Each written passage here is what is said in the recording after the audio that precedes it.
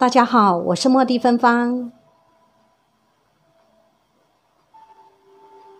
民间有许多传统禁忌，尤其是牵扯到往生者的话，更要多加小心注意。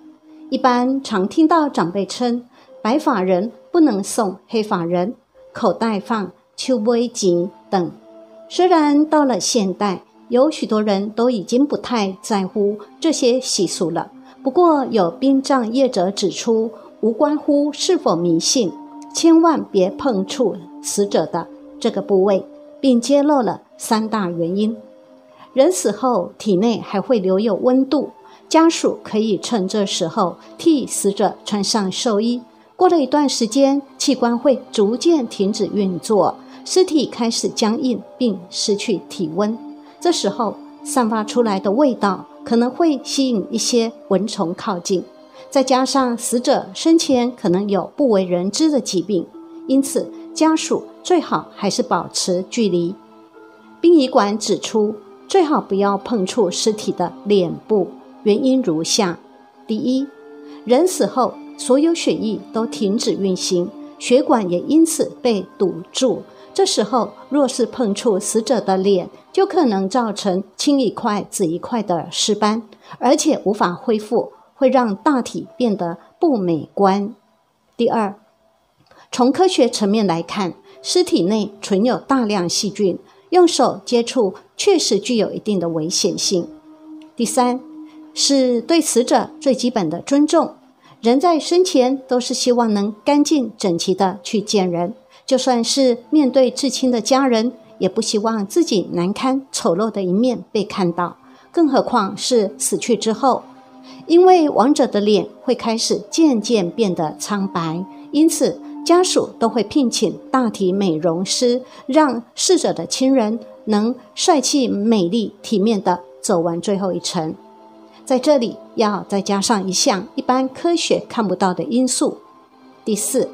人在刚死亡后十二小时内，灵魂出体时，即使是些微的轻碰，都会对亡者产生极大的痛。此时更是不可碰触往生者身体的任何部位，包含他的脸部。所以千万不要去摸往生者的脸哦。天天在摸尸体的他说，这种才是最恐怖的。有次在网络上看到有人发问。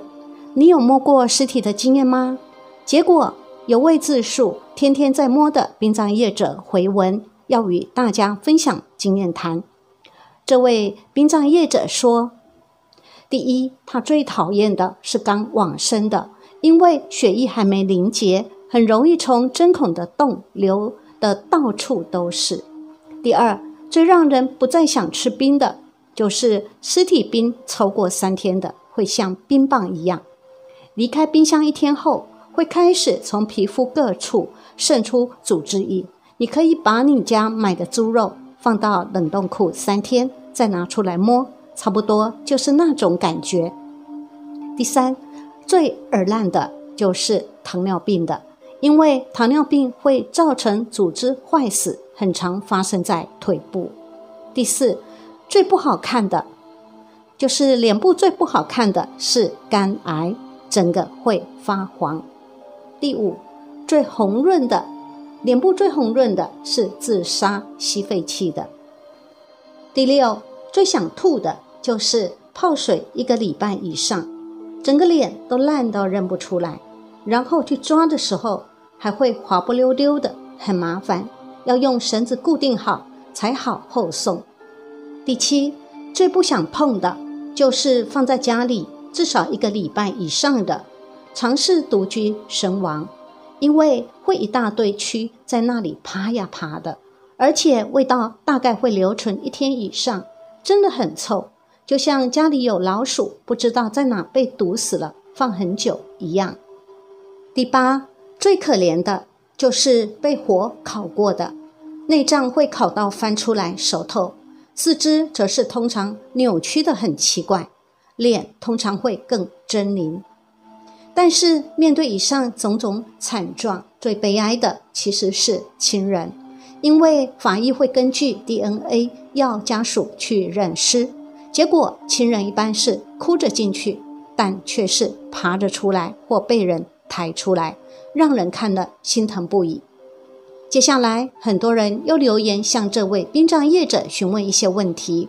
他说：“第一，做这行一开始都会怕怕的，后来抱着拼下去的心情就没啥感觉了。第二，跟死人相处，只要把该做的事情做好就好了。”跟活人相处比较难搞。第三，焦尸通常没味道，会有味道的通常是腐烂的，因为放太久或是泡水造成的。第四，焦尸的告别式不会让人看到他的面容，棺木也会直接盖着。第五，自己身上的味道，有时用香喷喷的香水沐浴乳也没有用，总觉得那味道如影随形一两天。其中有人问到这名殡葬业者：“你和尸体独处时，心里在想啥呀？”他则回应：“没啥感觉，跟死人相处，只要把该做的事情做好就好了。跟活人相处比较难搞，因为有人的地方就有江湖。那么前世的死亡方式会影响今世吗？很多经历过二次世界大战的人，今生已经来投胎了。”这些经历过战争的孩子，或多或少都带着某一种敏感。有人以为善业和恶业会互相抵消，不不，善恶业是并存的，无法互相抵消的。也就是说，前世曾经帮助过一百个人，和一百个人结了善缘，前世也曾经因为饥荒而当过土匪，抢了十个人的钱。请问这个人今生来转世，又遇到这一百一十个前世的善恶缘，会发生什么样的事情呢？可能这一百个结过善缘的人，在转世的过程之中，会变成亲友来帮助他事业成功；而这十个前世结二缘的人，可能是生意上来往的朋友，今生倒了他的钱。善业和恶业是不能够互相抵消的。会以并存的方式存在。无论如何，总结算下来，这个人今生之中的善缘还是多过二缘的。因此，做事情总能逢凶化吉，贵人运多，日子还算是能过得不错。因为善业大于恶业嘛。爱一个人也不容易，很多夫妻结婚之后相处又爱又恨，爱恨交错纠缠，头脑里面一下子爱他。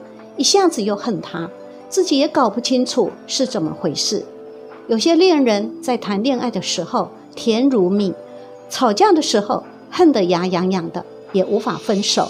原因可能是这对夫妻曾经有十世的姻缘在一起，而其中有三世当过夫妻，有七世是敌国的敌人，互为对手。可以想见，这对夫妻今生结婚之后，两个人有多么会吵了。两个人一定会在暗中暗暗较劲，谁也不肯认输。今生在一起，可又得吵了呢。生前死于战乱或是战争逃难而死的人，今生很容易恐慌。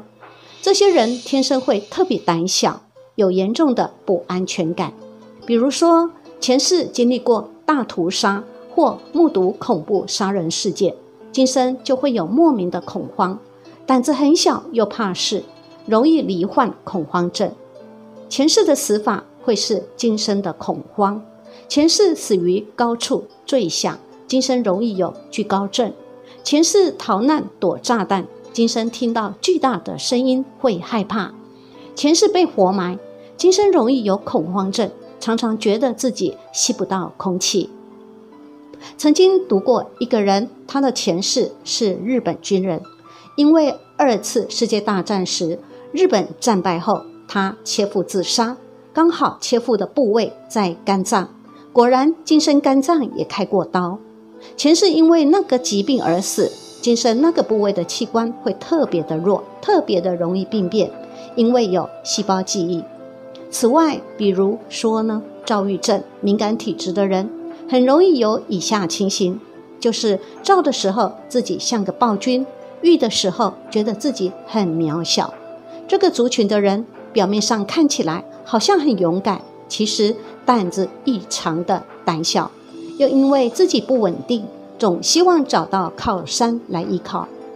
罹患躁郁症会经历到两种不同的极端情绪。若是去细读他们的前世，就会发现其体内同时存在着暴君和胆小两种人格。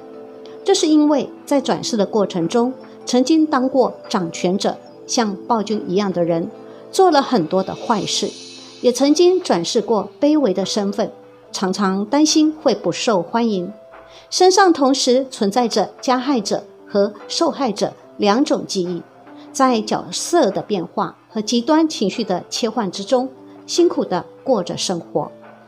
前世的死法会是今生的恐慌，今生若能够安详健康的离开，来世也会快乐健康的出生。明日是今日的延续，未来是现在的延伸。今生种的善因是来世的善果，今生植福，来世享福。想要来生过得好。今生修身体健康和广结善缘，永远是对的方向。